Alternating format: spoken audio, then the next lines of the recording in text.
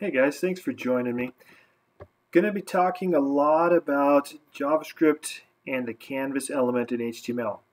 In order to do that, I've kind of chosen uh, JS Fiddle as the environment that I want to work in. So feel free to use this environment. It's free to use, or if you want to use another editor, another IDE, feel free to use that as well.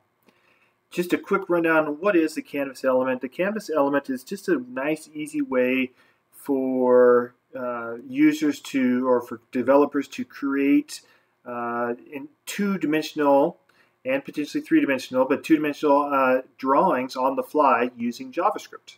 And so you can create drawings, you can create animations, you can create interactive games. So we're going to kind of work through a lot of that uh, in, in this channel. By the way, if you like what we're doing, uh, feel free to subscribe. We're going to keep adding uh, a lot of tutorials to help you through this process. Okay, so let's get started. This Today on this one, we're basically going to just get everything set up to use. So in the HTML uh, document part of it here, we're going to just create a canvas element.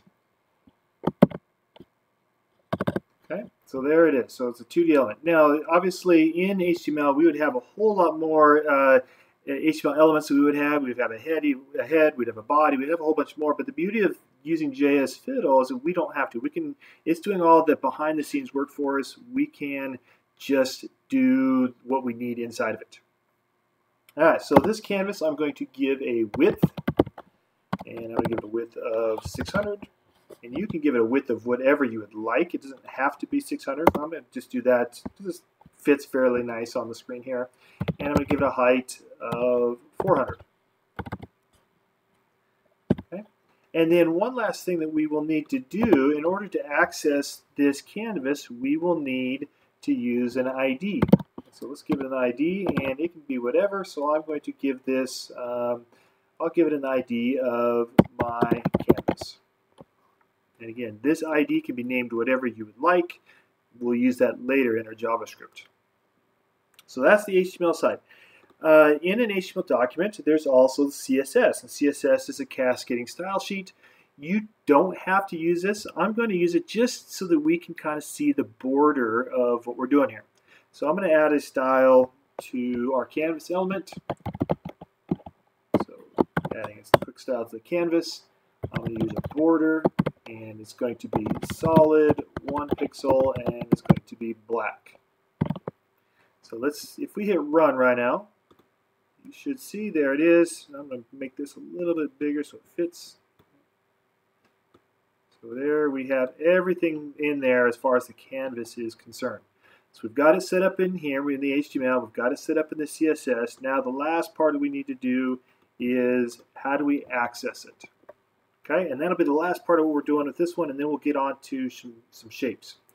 So in order to access this, we need to grab this element, grab this object. So we do that by little one, a couple of lines of code here.